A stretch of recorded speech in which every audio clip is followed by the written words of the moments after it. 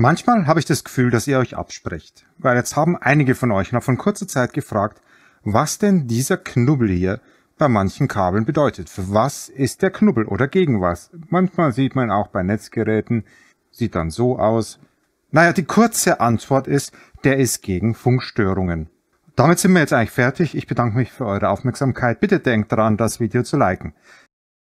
Ja, war jetzt nur ein Witz.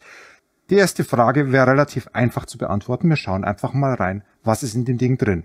Und bevor Fragen kommen, das ist so ein antikes VGA-Kabel. Na, da wollte man so früher analoge Videosignale drüber übertragen. Das musste auch eine Leitung sein, die schon wieder fast zu dünn, die qualitativ hochwertig ist. Und die Signale durften nicht gestört werden. Schauen wir doch mal rein. Falls ihr neu auf dem Kanal seid, Zerstörung ist Teil des Konzepts. Auch Teil des Konzepts ist ein Einsatz mit einer verrosteten Beißzange. Man sieht eigentlich schon so ein bisschen, wo das hinführt.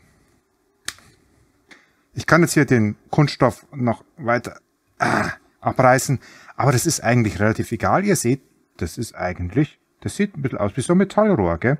Ja gut, das ist ein Ferrit. Und da führt die Leitung einfach durch. Damit ist das Rätsel ja dann gelöst. Oder auch nicht, denke ich mal.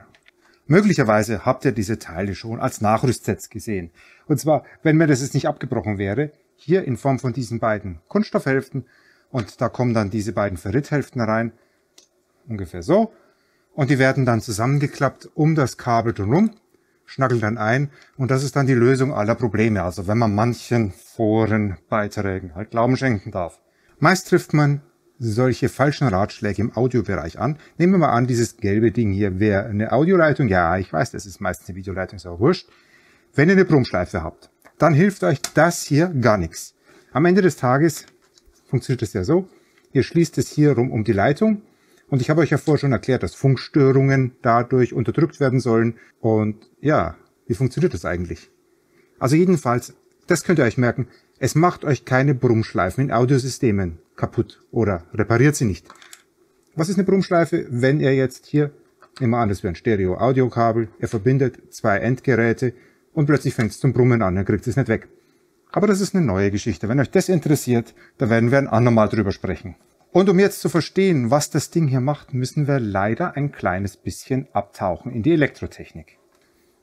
So, und jetzt zeige ich euch ein bisschen, was das Teil wirklich macht. Zur Demonstration habe ich jetzt hier einen Frequenzgenerator, der erzeugt ein Rechteck, im Detail relativ egal, und einen Spektrum Analyzer, der gibt das wieder aus. Und natürlich ist es eine furchtbare Verbindung. Also alle von euch, die unter Hochfrequenztechnik irgendwas verstehen, die werden natürlich jetzt sofort Schreikrämpfe kriegen. Ich habe hier zwei ganz normale Bananenstecker äh, benutzt, um das zu verbinden. Wir sehen jetzt hier eine steigende Frequenz und nach oben ein Pegel. Je höher der Pegel, desto mehr Wumpf ist dahinter. So ein Dingens ist hier 5 dB. Wir haben insgesamt eine Skala von dBm. Und was wir jetzt hier sehen, auch das ist jetzt im Detail gar nicht so wichtig. Wir haben jetzt hier einen Rechte-Generator mit 5 MHz und wir sehen alle möglichen Oberwellen, die von hier nach hier übertragen werden. Hier im Bereich irgendwo ist Radio. Fängt dann mal halt Radio an. Was will ich demonstrieren? Ich will euch demonstrieren, was passiert, wenn ich diese Doppelleitung hier nehme. Ich bringe es euch mal ganz ins Bild.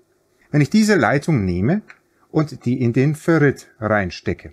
Ich mache mal die Messung ein bisschen langsamer, dann wird es auch ein bisschen genauer. Das hat aber für euch den Vorteil, dass man es nachher besser erkennt. Und äh, aufgrund der Macht meines Videoschnitts kann ich nachher das alles hier so ein bisschen beschleunigen. So, also wir sehen jetzt hier dieses Signal, das muss so aussehen. Und jetzt stopfe ich das hier einfach in den Ferrit rein.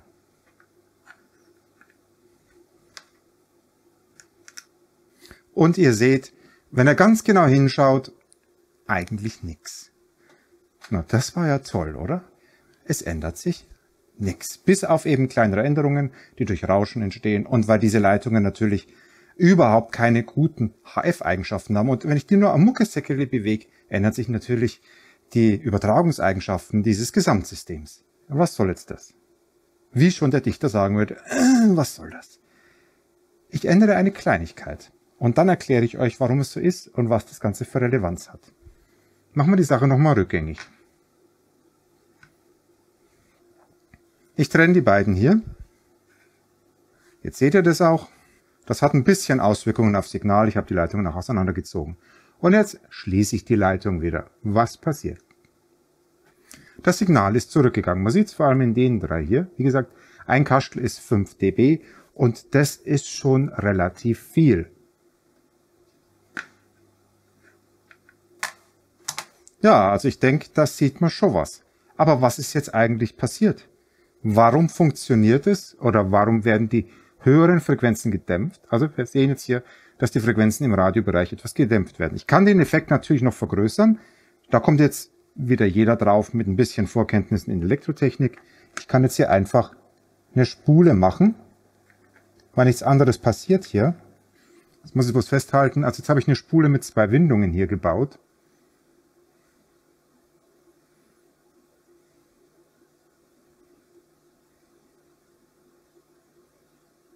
Und jetzt ist der Effekt noch deutlicher sichtbar. Und jetzt kommen wir zu dem Bereich, wo vielleicht einige von euch jetzt wieder keine Lust haben werden. Kurz ein bisschen Theorie.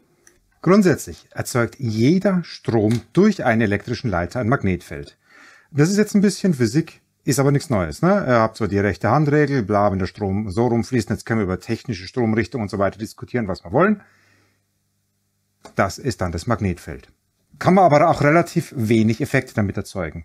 Deswegen geht man dann dazu über, dass man Leiter aufwickelt und halt eine Spule draus macht. Und wenn ich jetzt noch einen Eisenkern dazu mache, jetzt nehme ich hier einfach mal hier diesen Schraubendreher und wir tun so, als wenn der aus Volleisen wäre. So, mit diesem Eisenkern kann ich das Magnetfeld weiter verstärken. Ja, ich weiß, es ist jetzt nicht physikalisch ganz sauber ausgedrückt, aber akzeptieren wir es halt einfach mal. Und ich kann damit auch die Energie, die in dieser Anordnung steckt, erhöhen. Ich weiß, dass es physikalisch nicht ganz korrekt ist, aber es wird uns jetzt erstmal taugen. So, jetzt müssen wir eine Sache akzeptieren. Wenn durch dieses Ding Strom fließt, dann ist in diesem Magnetfeld Energie gespeichert. Und Energie kann nicht springen. Immer wenn Energie springen muss, dann passiert etwas, was in die Richtung Explosion geht. Jedenfalls, wenn der Sprung zu arg ist. Deswegen mag dieses Ding keine Änderungen. Das führt dazu, dass diese Anordnung hier erstens mal gar keine Lust hat, ein Magnetfeld aufzubauen. Das heißt, wenn man das entsprechend vergrößert hier und ihr wollt einschalten, dann denkt sich das erst einmal, na, na, na, na, na, da lasse ich erstmal gar keinen Strom durchfließen. Ich mag das nicht. Äh, Strom ist was, was sich hier nicht ändern sollte. Und deswegen hat eine Spule erstens einmal die Wirkung, dass beim Einschalten wenig Strom fließt und der im Laufe der Zeit ansteigt, bis dann irgendwann die Änderung minimal ist, weil der Strom weiter angestiegen ist und dann ändert sich das Magnetfeld nicht mehr und dann fließt eben der Strom durch das Teil durch, der einfach dem Ohmschen Widerstand dieses Drahts entspricht. Wenn ich jetzt ein sich änderndes Signal drauf gebe, und jetzt kommen wir an das Beispiel vom Anfang zurück, dann wird das gedämpft durch diese Spule, weil die Spule sich denkt, na, na, na, das ändert, hier ändert sich viel zu viel. Ich bin der Brecker konservativ, der Strom hier darf sich nicht ändern. Je schneller sich das Signal ändert, also je häufiger pro Zeiteinheit, desto weniger quält es der Spule. Und deswegen dämpft die Spule Frequenzen, je mehr, je höher die Frequenz ist. Damit sind wir jetzt eigentlich fertig. Oder auch nicht. Denn eine kleine Sache ist jetzt noch nicht ganz klar geworden. Nehmen wir mal zwei Leitungen. Tun wir einfach mal so, wie wenn am Ende ein Verbraucher wäre. Äh, Kurzschluss. Ist auch ein Verbraucher.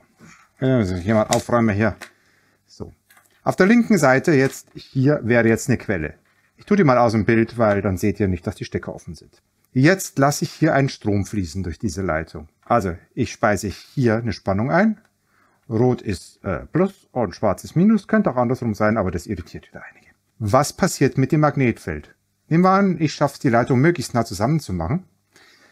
Ihr, ihr wisst es eigentlich, weil ich es vorher erklärt habe. Ne? Der eine Strom hier, machen wir mal jetzt hier technische Stromrichtung, also dann fließt der Strom hier so rum und der Strom hier fließt so rum und die löschen sich aus. Sauber, sorry.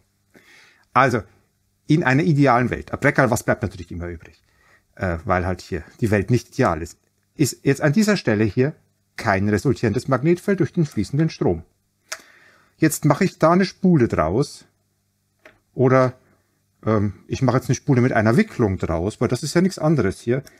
Ich tue diesen Eisenkern da drüber und damit habe ich eigentlich eine Spule mit einer Wicklung mit beiden Drähten gemacht. Was macht diese Spule jetzt, wenn ich jetzt hier einschalte. Ich habe ja vorher erklärt, kommen wir mal zu dem Beispiel von vorher zurück, damit wir das jetzt einfacher transponieren können. Das wäre also im Prinzip das Beispiel von vorher. Machen wir das gleich mal so. Nehmen wir mal dieses Beispiel jetzt hier von vorhin. Ich schalte jetzt rabiat den Strom ein und es passiert gar nichts. Das ist dem Strom relativ wurscht, weil es ist hier, gibt hier kein resultierendes Magnetfeld. Ich kann hier auch ein wechselndes Signal reinlassen. Man merkt nichts davon. Und das ist auch genau das, was wir vorher gesehen haben. Ich habe auf beiden hier ein Signal eingespeist und es hat keine Auswirkungen gehabt. Und jetzt ist die Verwirrung komplett. Weil trotzdem sage ich euch, dass das hier Rundfunkstörungen unterdrückt. Und das folgende ist natürlich jetzt wieder ein Denkmodell. Wir stellen uns jetzt mal euren Computer vor, weil ich habe euch vorher gezeigt, dass wir hier ein Grafikkabel haben zum Beispiel. Ne? Und im Computer ist irgendein Bembel, wie ich immer so schön sage. Also hier ist irgendwo euer Stecker und da geht es in den Computer rein. Und ich vereinfache das jetzt natürlich, es besteht das Signal nicht aus zwei Leitungen. Also das Signal bewegt sich nicht auf diesen zwei Leitungen, das ist klar. Aber nehmen wir an, das wäre euer Computer und das wäre euer Monitor. Machen wir es mal so. Ich wollte jetzt schon wieder eine Bildröhre, egal. So, und jetzt haben wir hier hoffentlich diesen Ferrit-Bembel. Und wir haben hier, das male ich mal jetzt so zur Vereinfachung rein, wir haben hier den Erdboden. Um das Ganze so ein bisschen einordnen zu können, stellen wir uns das einfach so vor. Hier ist eine Störquelle. Und die Störquelle erzeugt einfach ein Störsignal gegenüber dem Erdboden. Und dieses Störsignal, das hüpft hier aus dem Gehäuse raus auf dieser Leitung. Also das ist hier auch immer noch gegen Ground. Weil der Computer, das könnte man vielleicht auch so einzeichnen, ist hier auch gegroundet.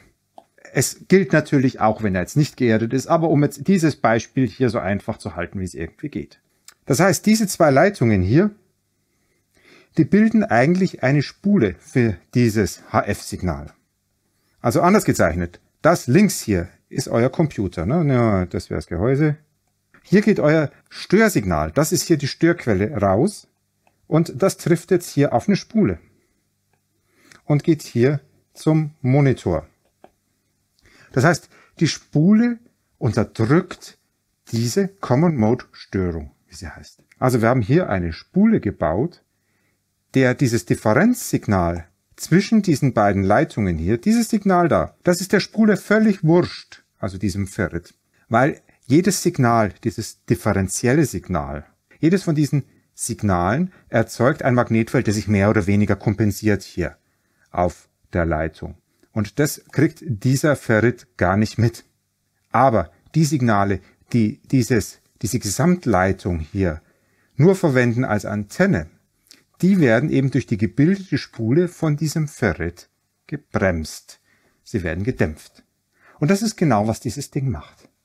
Und jetzt könnte man natürlich die Frage stellen, gehört das Ding mehr links oder mehr rechts? In einer idealen Welt eigentlich mehr auf der Computerseite, aber auch das stimmt nicht so wirklich, weil der Monitor selber, der hat ja jede Menge Schaltnetzteile und Gelumpe. Und diese ganzen Kabel nach draußen, die bilden, wenn das Gehäuse sonst geschlossen ist, eine Möglichkeit eben für die Radiostörungen dann nach außen zu kommen. Und das war jetzt eigentlich schon das Geheimnis des Bambles. Für alle, die neu auf dem Kanal sind und jetzt bis hierher durchgehalten haben. Ich mache ab und zu so Grundlagensachen. Man muss aber fairerweise sagen, oft mache ich andere Sachen. Ich habe so ein bisschen den Ruf, alle Sachen kaputt zu machen. Und der stimmt auch. Der Hintergrund ist auch, dass bestimmte Sachen am besten zu testen sind, wenn man sie zerlegt oder wenn man sie bis an ihre Grenzen bringt. Also solche Sachen findet ihr jetzt hier. Und ab und zu eben solche Grundlagen. Wenn ihr mehr wissen wollt, dann schaut den Rest vom Kanal an. Und ich habe natürlich noch andere Kanäle. Ich habe noch einen Laberkanal, da wird nur gelabert, das kann ich auch gut. Und dann gibt es einen Kanal, da geht es über Video, Film, Fernsehen, Serien. Ich denke, für heute reicht's einmal. Schaut mal in den angepinnten Kommentar, bevor ihr Kommentare verfasst, weil vielleicht habe ich jetzt irgendwas übersehen oder nicht sauber dargestellt und dann werde ich es da korrigieren. Und ansonsten versuche ich am Anfang, also während den ersten paar Wochen, wo das Video online ist, eure Fragen zu beantworten. Aber wie gesagt, schaut erst einmal bei den anderen Kommentaren, weil es passiert dort leider oft, dass eine Frage öfters gestellt wird und so viel Zeit habe ich leider auch nicht. Ich hätte sie gern, aber ich kann nicht jedem seinen Kommentar beantworten. Tut mir leid, aber ich versuche soweit es irgendwie geht. Bis zum nächsten Video. Servus.